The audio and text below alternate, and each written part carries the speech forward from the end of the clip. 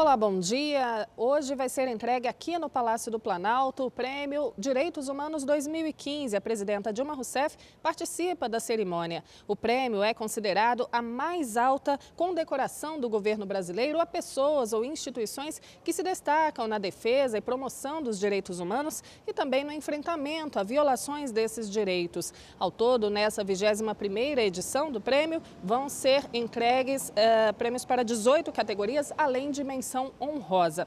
Bom, e às três horas da tarde, a presidenta Dilma Rousseff recebe aqui no Palácio também a presidente do PCdoB, deputada Luciana Santos. Ana Gabriela Salles, direto do Planalto.